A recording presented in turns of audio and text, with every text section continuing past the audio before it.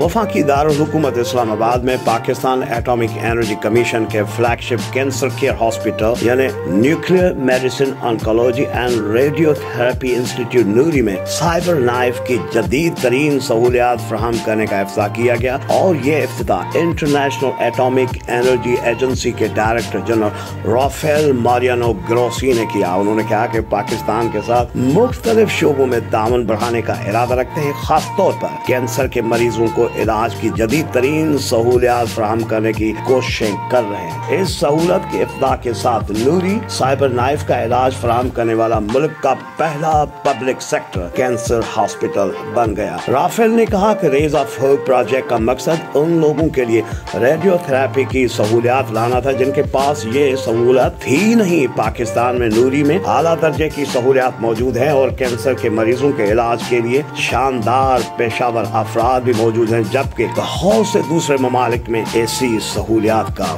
فقدان پایا جاتا ہے۔ انہوں نے مزید کہا کہ پاکستان کا یہ ہاسپٹل جدید ترین ٹیکنالوجی سے آراستہ ہے اور اس سہولت کو دنیا بھر تک پھیلانے کی صلاحیت بھی رکھتا ہے۔ نوری hospital in Islamabad, now with cyber knife treatment.